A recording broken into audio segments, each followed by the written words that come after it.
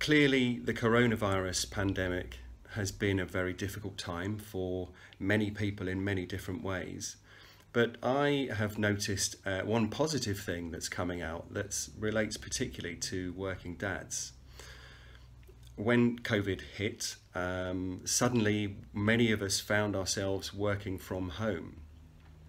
And uh, the dads that I've been talking to have said that that sudden shift, uh, going from the office to working from home, uh, and, and often including flexible hours as well, has allowed them to have considerably more involvement in the day to day lives of their partners and their babies than they would otherwise have had.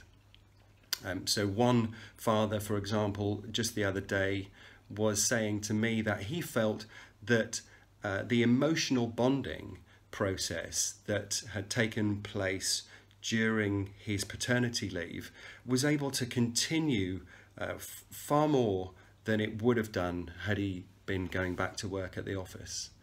Um, another dad was talking very passionately about how important it was to him that he was able to have uh, breakfast uh, together with the whole family, including his wife and their two year old uh, and the new baby as well. And that was time that he would otherwise have been on his commute. Um, and plenty of dads have talked about how good it feels um, just to be able to share more of the responsibilities at home in ways that wouldn't have been possible before lockdown. Um, so some of them are having shifts uh, where they take the baby for a while and then uh, they, they hand back over to their partner um, and they flex, flexing their hours to suit around that.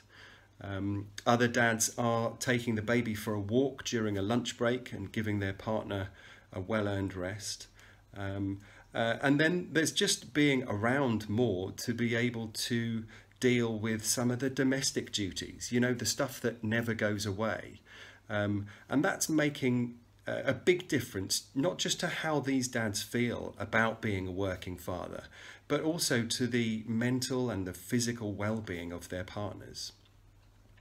So, what I think makes this so important is that, you know, it's really easy for many working fathers and the organizations that employ them to kind of default to this quite 1950s attitude to how you want to do things.